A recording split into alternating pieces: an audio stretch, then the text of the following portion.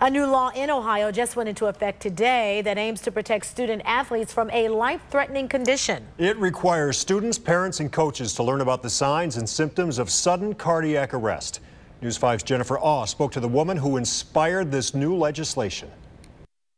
You may already know Lindsay Davis. She's successful, beautiful Miss Ohio. She's from Lakewood. And I talked to her on Skype earlier today, and she told me that her life was not always so rosy, that she had to give up her dreams of becoming a dancer. But in the midst of her difficulties, she found a new path.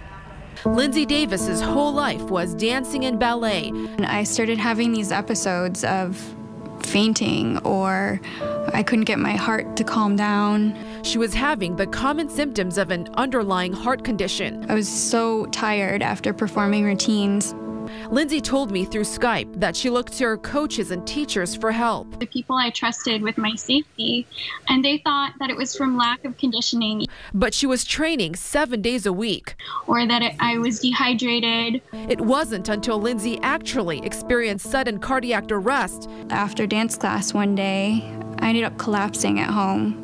She was diagnosed with hypertrophic cardiomyopathy, and she counts herself lucky to have survived. I want to make it so Ohio's children don't have to rely on luck. And that's where Lindsay's law comes in. I was lost and hung up on the fact I could die any day.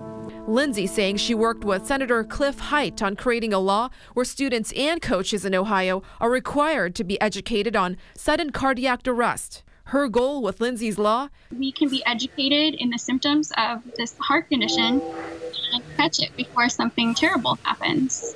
Lindsay now lives in New York City and works as a successful model, and she's now working on passing a similar law in New York State. In the newsroom, I'm Jennifer Ah, reporting for News 5. Important stuff, especially now yes. as uh, high school football teams hit the hot practice field.